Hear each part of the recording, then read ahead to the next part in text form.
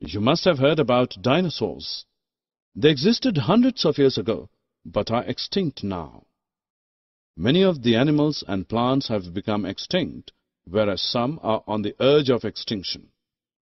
Species whose numbers are diminishing to a level that they might face extinction are known as the endangered species.